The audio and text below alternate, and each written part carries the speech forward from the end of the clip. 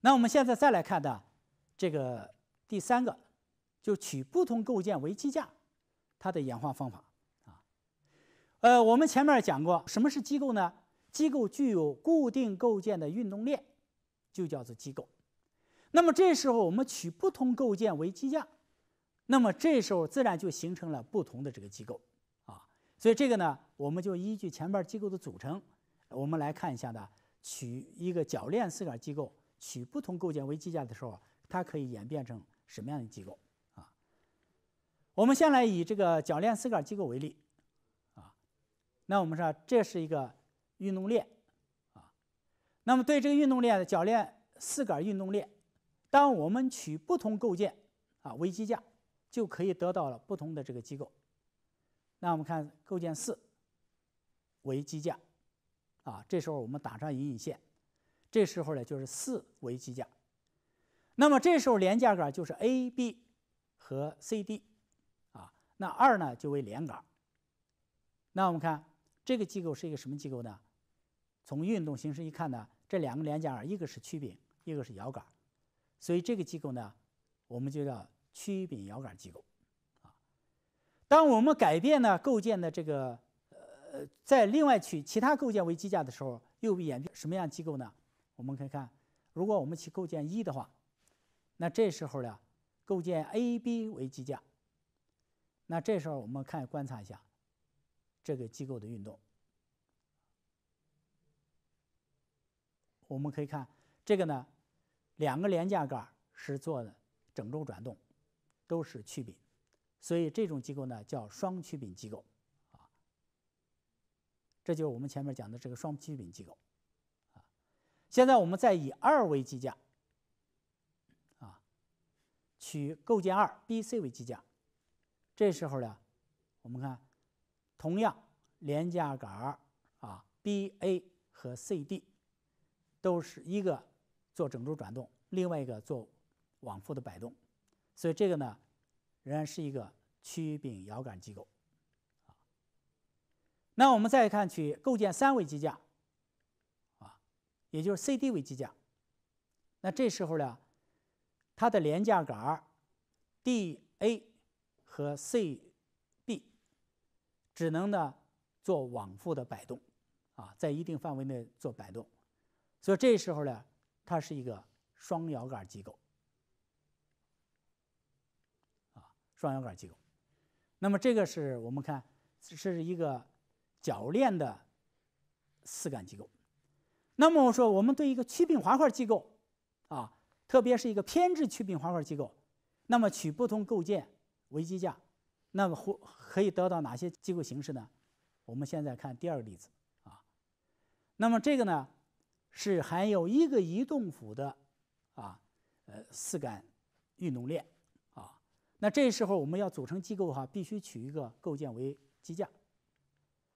例如，我们取构件四为基架啊。构件四呢，它是导杆啊，这个固定以后呢，就变成导路。那这时候呢，我们可以看它的连架杆是什么呢？我们看连架杆，一个是一。也就是 A、B，另外一个呢就是构件三，啊，构件三滑块，这个是两个连架杆。那这时候呢，我们看这个连构件一呢做整周转动为曲柄，而构件三呢是做往复的移动为滑块，而且这个是一个偏置的，所以这个是偏置曲柄滑块机构。我们对这样运动链，我们再取构件一为基架的话，那这时候呢，它的两个连架杆，一个是 B、C，另外一个呢就是 A 啊，构件四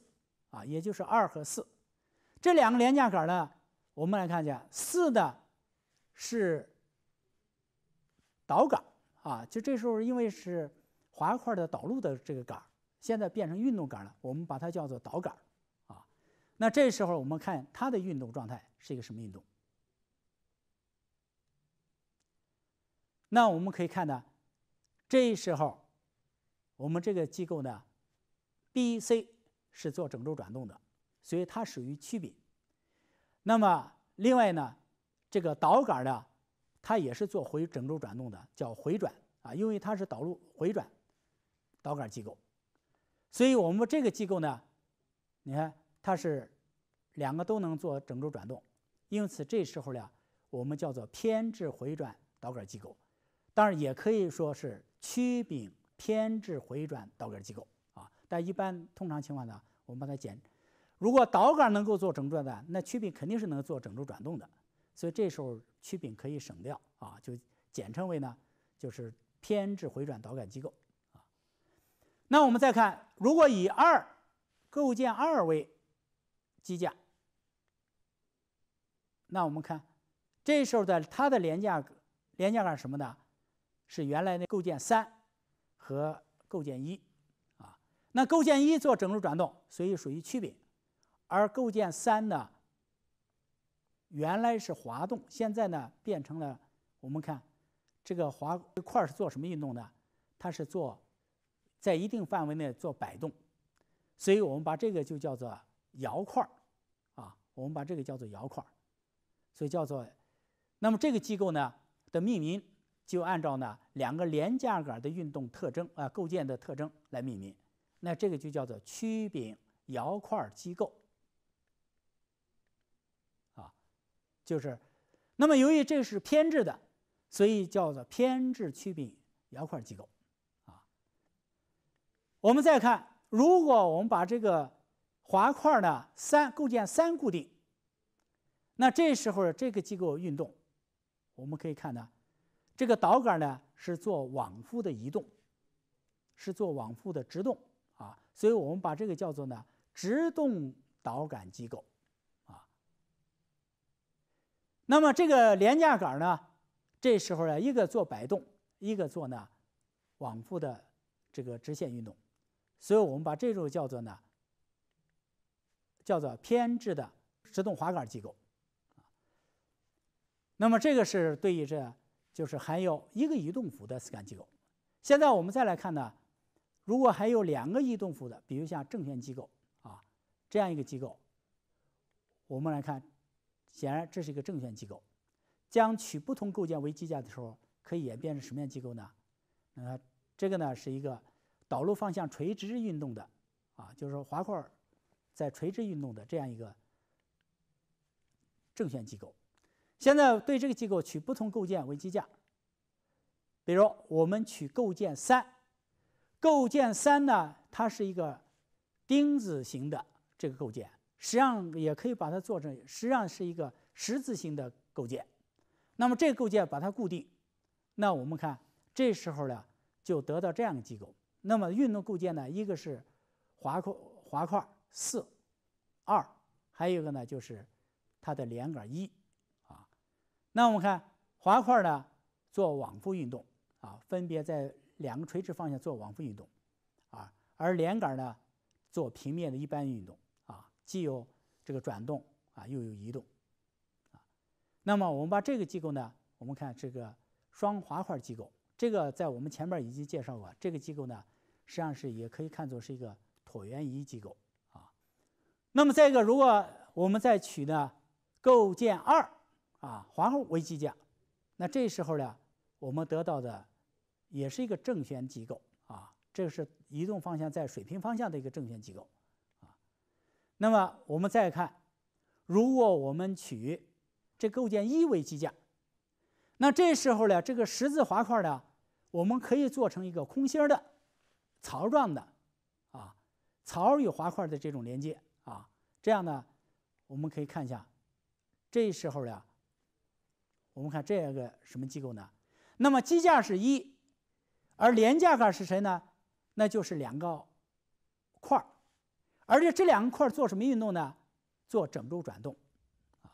这时候我们把这个做整轴转动这块儿呢，绕自身轴做转动块呢，叫做转块儿。所以这是两个两个转块儿，所以我们看也是作为机构呢，一个输入一个输出。所以，作为它的两个连架杆的啊这样一个特点，那么这时候呢，我们叫双转块机构啊。所以机构命名呢，一定抓住是两个连架杆，一个输入，一个输出，根据它的运动特征啊或者构建的这个运特征来进行命名。那么这种机构呢，显然我们把一个转动运动啊变换成另外一个转动运动，而且我们可以看出这两个转块呢和这个十字架是呃十字槽呢，它是一个只是移动符组成的，它们彼此之间呢，它没有相对运动，没有相对转动，没有相对转动的时候，这时候的角位移、角速度、角加速度完全是恒等的。那这时候呢，我们可以看出啊，如果我给 A 处的这个转块一个转动运动，那么就得到在 B 处的一个转动运动，跟它完全位移速度加加速度完全相等的一个速度。那么这样呢，就我们可以实现呢，在两个不平不重合轴之间的这个运动的这个传递啊，就是把一个轴的转动啊变成另外一个轴转动了。那这时候呢，它可以实现连轴器。啊，当连轴器有错位的时候呢，我们可以用这种，所以叫十字滑块连轴器，就是根据这个原理来设计的啊。那么以上呢，就是我们以这个呃铰链四角机构、曲柄滑块机构和双块机构为例，然后呢，我们取不同构件为基架，可以演化成呢不同机构的这个形式。